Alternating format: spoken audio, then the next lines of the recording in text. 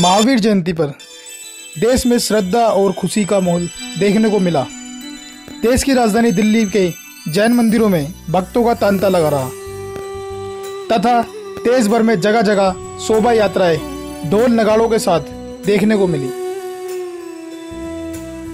महावीर जयंती के उपलक्ष्य में आज सारा देश महावीर जयंती मना रहा है और खासकर दिल्ली के पहाड़गंज के अंदर महावीर जयंती मनाई जा रही है।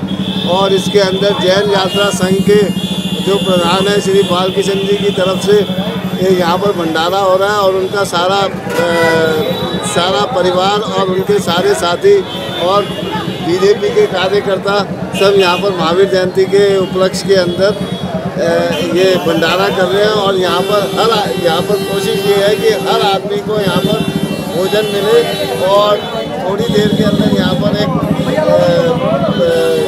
जुलूस आ रहा है वो यहाँ, इस पहाड़गंज जैन मंदिर से होके महावीर वाटिका की तरफ़ जाएँगे। बड़ा हर्ष का विषय है कि महावीर जयंती पूरा देश मना रहा परमो धर्म का जो संदेश महावीर भगवान ने दिया है, उसका पर्व, विशाल पर्व सोलह से बीस जो जैन एफ़ स्कूल में स्थापित है, उसकी विशाल शोभा यात्रा और बालकृष्ण जैन जी, पंकज जैन जी, राजू भाई, जो हर साल यहाँ पर भटकता करते हम लोग यहाँ पर आए हैं। भारतीय जनता पार्टी के हमारे वरिष्ठ नेता श्री हरी प्रिया जी भी हमारे साथ हैं कोषाध्यक्ष श्री अशोक गलवार जी राहुल जैन जी, मैं सभी क्षेत्रवासियों सभी देशवासियों को महावीर जयंती की हार्दिक शुभकामनाएँ दूँगा। भगवान महावीर अपने चिन्हों पर सबको चलाएँ, ऐसा ज्ञान दे, ज्ञान के रास्ते पे लगाएँ कि लोग अहिंसा परम धर्म के मार्ग पर चलें। इसी शुभकामनाओं के साथ आपको मैं चुनावों के समय दिल्ली प्रदेश के भाजपा कार्यालय में भी महावीर जयंती मनाई गई।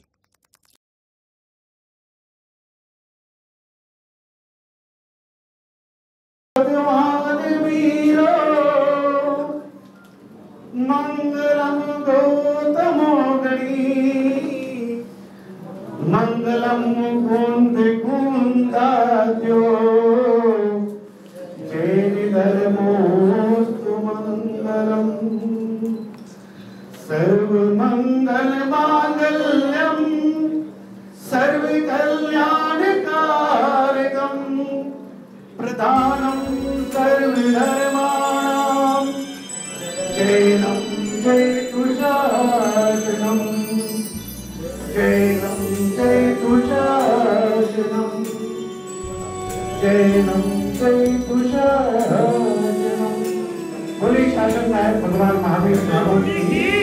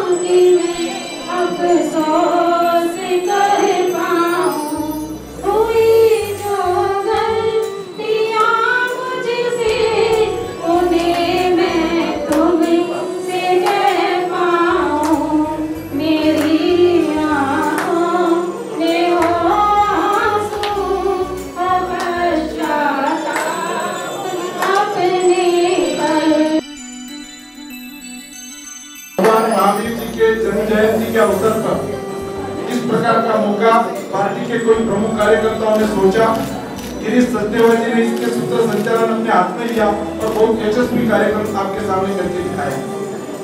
मुझे कहने में बड़ा गर्व महसूस होता है। भारतीय जनता पार्टी ये केवल राजनीतिक पार्टी, वोट बैंक की राजनीति करने वाली पार्टी नहीं है। केवल वोट बैंक की चुनाव की राजनीति करते तो ये कार्यक्रम हम यहाँ नहीं करते। ये पार्टी धार्मिक पार्टी है, ये पार्टी आध्यात्मिक पार्टी है।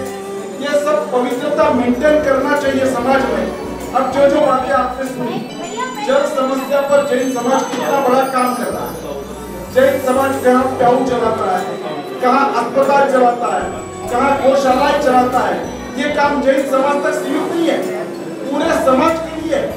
जैन समाज के कई भवन निर्माण हुए हैं, कई धर्मशाला है, जैन समाज तक नहीं है, पूरे उदाहरण देना चाहता हूँ।